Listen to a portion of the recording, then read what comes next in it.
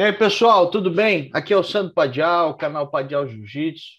Estamos aqui no quarto capítulo dessa história maravilhosa, né? Esse conteúdo que a gente está colocando aqui para vocês, que é o nascimento do Jiu-Jitsu em 10 capítulos. Estou aqui comigo, ao meu lado, Fábio Kyutakal, essa grande figura, né? Historiador, professor. Dispensa a apresentação já, né? É, a gente terminou o terceiro capítulo contando de toda essa organização das artes marciais, a gente falou um pouco mais do judô e do Jigoro Kano, de como a coisa estava sendo organizada lá no Japão. E a grande pergunta agora, para a gente caminhar nesse quarto capítulo, é de que forma e como, Fábio, isso começou a ir para o Ocidente? Legal, Sandro. Vamos falar. É, é bom a gente lembrar que no Japão, como a gente já falou, nós tínhamos vários estilos de jiu-jitsu que estavam moribundos, vamos dizer assim. Eles estavam à beira da extinção. E através do Butokukai, né, que era uma organização nacional que tentou resgatar essas artes, inclusive com o Jigoro Kano sendo presidente, né, é, o Butokukai ele basicamente unificou né, uma, o kata do jiu-jitsu, ou seja, o que, que isso significa? Né? Que os vários mestres de diversos estilos de jiu-jitsu tiveram que entrar num consenso e que é, haveria uma cartilha, entre aspas, né, um catar, né, um método de golpes para ser estudado, é, a grande maioria de lutas agarradas, tá? É, aonde é, seria uma tentativa de manter o jiu-jitsu japonês vivo. O Jigoro Kano, como a gente já falou, teve um grande papel nisso, é, e nesse momento histórico do Japão, a gente tem vários, é, a gente tem uma ascensão do estilo do Jigoro Kano, que era o judô. Então, é, trocando em miúdos, o judô começou a absorver todos os outros estilos de jiu-jitsu e trazer para eles. Os outros mestres começaram a perceber a, a influência política do Jigoro Kano, a preocupação pedagógica do Jigoro Kano é, e a capacidade que o Jigoro Kano e o judô tinha, é, o apelo que ele tinha frente ao novo mundo ocidental que se abria. Né? Então, muitos mestres passar, a, a, entre aspas, deixaram de usar o, o antigo nome de jiu-jitsu, né, dos estilos antigos, e passaram a ser incorporados pelo judô. Muitos desses eh, praticantes é, foram, não muitos, mas alguns deles, tá, foram viajar pelo mundo, tá? tentaram a sorte na Austrália, é, principalmente na Europa, na Inglaterra. Nós tivemos a ida de vários mestres, não só do jiu-jitsu japonês, de estilos antigos, como do próprio judô. Eles migraram para a Inglaterra, para uh, os próprios Estados Unidos, que era um país que já na época, no começo do século XX, ele já estava, estamos falando é, de 1904, 1905, que foram dois anos muito importantes para que esse jiu-jitsu japonês, que estava ali meio moribundo, do, do próprio judô, que estava em ascensão, os Estados Unidos ajudou esses mestres a disseminar a arte. Né? Então, o que, que aconteceu? É, alguns, o próprio Jigoro Kano mandou mestres de judô para o Japão para ensinar. Eh, inclusive, o presidente Theodore Roosevelt aprendeu com Yamashita.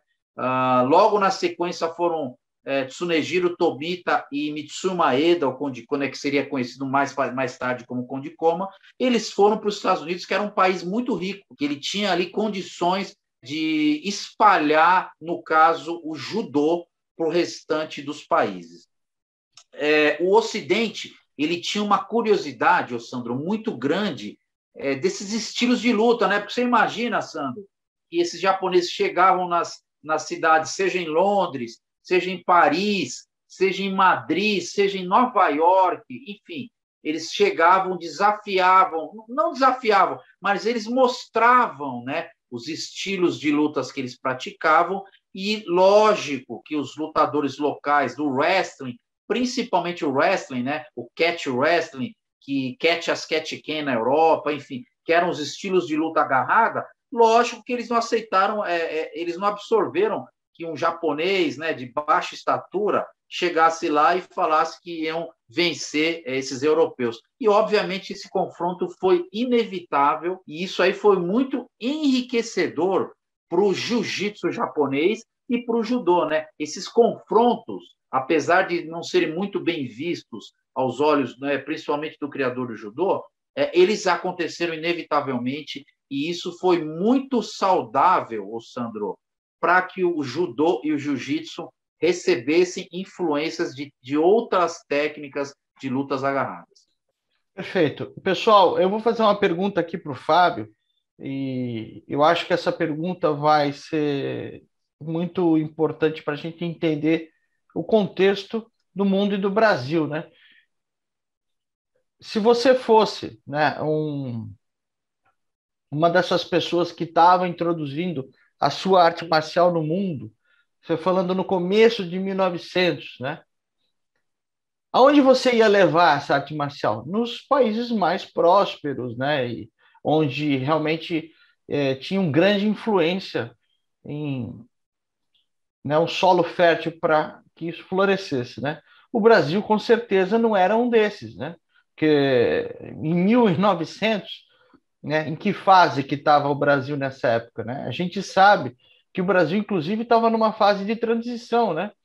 Entre era uma no, era o começo da República, né? Tinha acabado o Brasil imperial ali pouco antes e ali começava, quer dizer, o Brasil estava em formação, né? Era o último lugar do mundo que que eles iam falar não, vamos levar para o Brasil, que do Brasil vai para o mundo inteiro, né? Então realmente é, a gente vai chegar lá mais para frente, acredito que no próximo capítulo, é, que o Brasil quase que um acaso, né? Exatamente, Sandro. É, a chegada dos japoneses no Brasil ela é um pouquinho posterior. Então, é, entre os anos de 1905, né, 1904 e 1915, eles foram fundamentais para que esse judô japonês, esse jiu-jitsu japonês, é, se espalhasse pela Europa e pela, pelos Estados Unidos é, ele despertasse é, a curiosidade, ou seja, você imagina que os americanos grandes, né, lutadores de wrestling, eles eram, eles eram muitas vezes estrangulados, tinham né, chave de braço na guarda, por quê?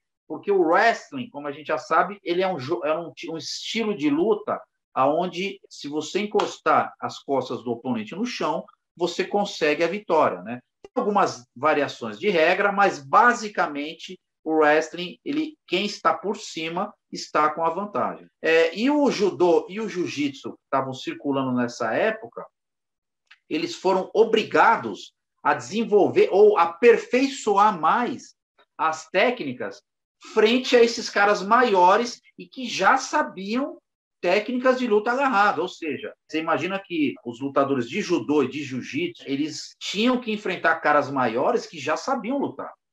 Então, isso foi muito saudável, né? esse, essa, essa, esse período entre 1905 e 1915, onde esses japoneses viajaram pelo mundo inteiro, né? dentre eles o próprio Mitsui Maeda, que foi competir na Europa, wrestling, que veio para a América Central é, se apresentar, enfim. É, esses japoneses, inclusive, é, se interagiram, esses que foram para a Europa, para os Estados Unidos, Akitaro Ono, é, enfim, Taro Miyake, Yukio Tani, são nomes assim muito importantes, né, que se interagiram entre si, Urakusa da casa Uenishi, e, e isso enriqueceu muito essa luta japonesa que já era tão rica, é, ela com essa influência é, euro, é, ocidental se tornou ainda uma arma assim quase que eu diria é, infalível aí, né? Legal, Fábio, muito bom.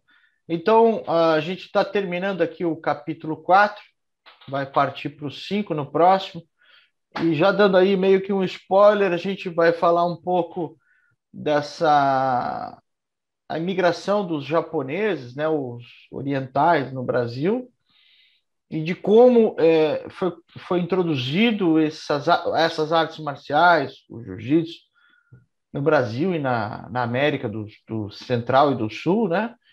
E qual a diferença que o que a gente fez com eles, com, com essa arte marcial aqui, o que os europeus fizeram, por sua vez, com a mesma arte marcial que foi introduzida lá. Gente vai falar um pouco dessa é, introdução do jiu-jitsu, mais a cultura do brasileiro, mais aí vamos falar da família Grace, obviamente, um pouquinho mais para frente, né? E aí o, o nosso tempero fez uma coisa diferente, é mais ou menos isso, né? Que a gente vai falar aí da para frente, né?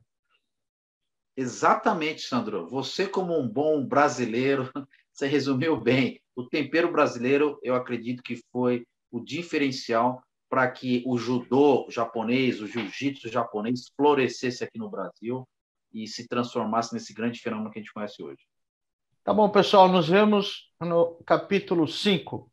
Até!